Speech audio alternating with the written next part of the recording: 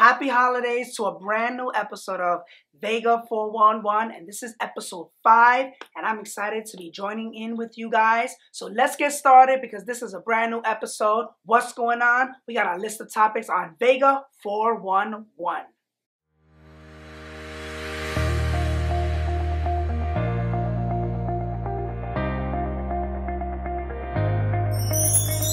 Welcome back to another episode of Vega 411. I'm excited, episode 5 of season 8. And um we're gonna take a break.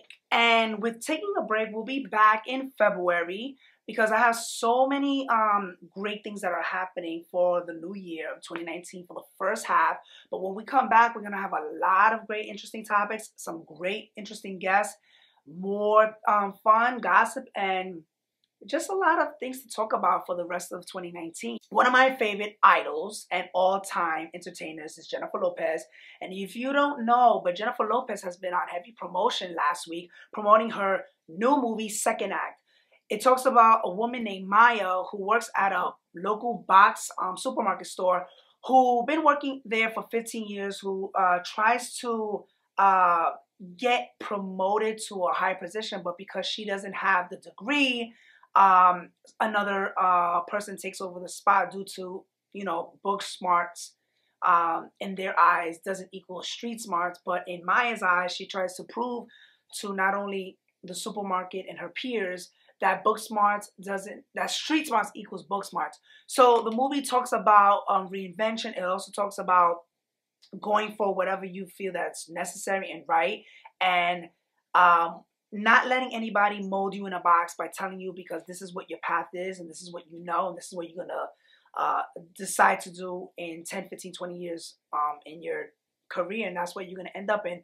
No one can change your life but yourself. I am excited for the film because this is her first time in this thematic music video called limitless that was uh, written by sia uh, talks about reinvention and also um, breaking boundaries in terms of being a woman and not letting nobody tell you what's right from wrong because women cannot do this or men are better than women. And so um, she has her daughter in the video, Emmy, and the video is supposed to come out this week. So this is a great thing. This is her first ever music video, and I hope she does more. And I think it's gonna be a great music video. There's gonna be choreography. There's gonna be um, interpretive dancing. There's gonna be uh, so much, so much that's going on in this music video. So whenever it comes out, be sure to check it out and make sure you get your tickets for Second Act the movie on December 21st. We also have some interesting news.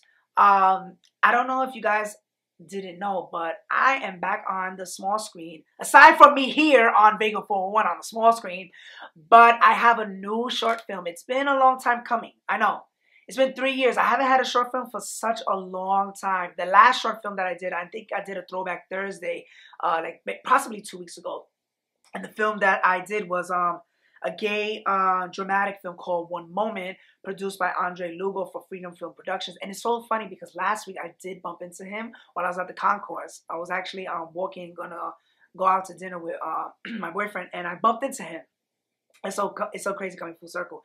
So um, that was one of my um, last short films that I did. And that was in 2015. So we are, we're moving on up. We got a new short film and it's called So How About That Fettuccine by, produced by The Crooked Gene, directed and edited and produced by uh, Will McNair. Um, it's basically a romantic comedy uh, about um, this guy who goes on online dating for the first time and when he finally meets this guy named Ronald, my character, it turns out not to be um, the type of guy that he, well, my character doesn't think that the guy that he kind of assumed that he was going to be with is not the guy that he would kind of like spend his life with. So it turns out to be, well, not in the expectations that they both thought that they were going to both be in. But you're going to have to see the movie because it's so funny. It's out. Um, it's already over 341 views and it's still going up and up. So it's becoming one of my most fastest short film.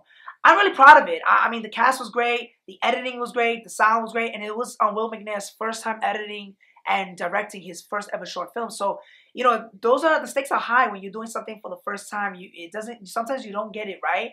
But I went to the frat the wrap party. It was amazing, and I think the film was great. I'm really proud of the choices that I decided to do as an actor for my character.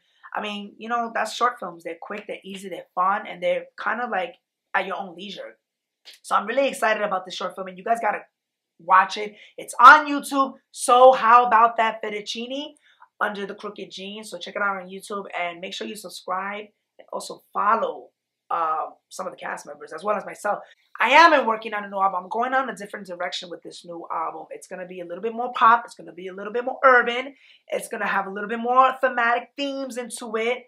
More music videos, which I have last week was uh, busy filming the first single of my music video, which is titled He'll Never Be Me. And I got a surprise for you guys. So guess what? This week, you can pre-order He'll Never Be Me, which will be available on iTunes this Friday. And I said yes, this Friday. So make sure you get your copies. There's also a preview that you can also listen to parts of the uh, of the song. And I'm working on the music video, but the music video will be out top of 2019. But to hold you guys off, there is a promo single which is called Keep Watching Me. I wanted to go a little bit fun. I wanted to do something a little bit more urban, something a little bit more kind of aggressive, a little bit of rapping. And I hope you guys are enjoying Keep Watching Me. So far, I've checked out the stats and it's already number two on my most popular songs. And it's because of you guys who've been listening and chiming in and playing the song. So I do got a lot of great material. I got a lot of great songs. I got a lot of stuff that I want to present. I mean, 2019 is going to be full of films, full of music, a new album. So all I can say is just check out your local listings of Jennifer Lopez and also as well as J-Ho, J-Ho Vega, Jesse Vega. We got new music. We got a film that's out called So How About That Fettuccine, Jennifer Lopez film, which is second act, and many more. Thank you guys for showing support and love on Vega 411. I see you guys in February 2019. Happy holidays. Hey guys, make sure you like, subscribe, and follow Vega 411 on all social platforms right below, right here. My name is Jesse Vega, and I see you guys soon.